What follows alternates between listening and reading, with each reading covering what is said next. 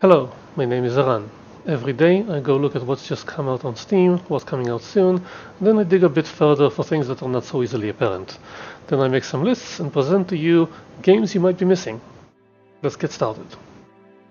If you're familiar with Revolution Software, the Broken Sword series Beneath a Steel Sky, then here comes a sequel, Beyond the Steel Sky, in 3D, and it's out now. Personally, I'm not a big fan of the old adventure style, but I know a lot of people are, so here it is, the new one from 2020. You can play it now. It's $35.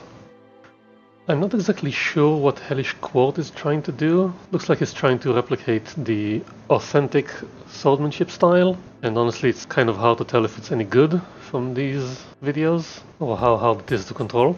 And apparently it also has a story. I'm really not sure about this. I would actually wait for it to come out and see someone playing it to tell if it's good, but it's definitely interesting. It's interesting to look at. Coming out to early access on December 7th. Check it out.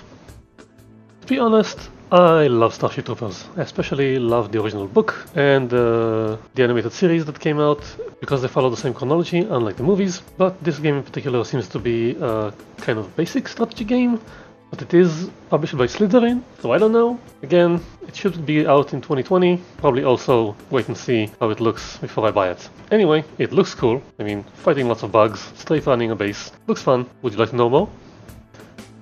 Came slightly out of the blue for me. I mean, when I ran into it here, it's the first time I've ever heard of it, but it's giving me Everspace vibes, and it looks like an arcade space simulator where you play some kind of woman in a ship with what looks like Magitech capabilities or something like that. This is not your standard sci-fi, so maybe it's Everspace with superpowers? I'm not sure. It, anyway, it looks cool, it looks interesting, and it's set to come out in 2021, so keep an eye on it.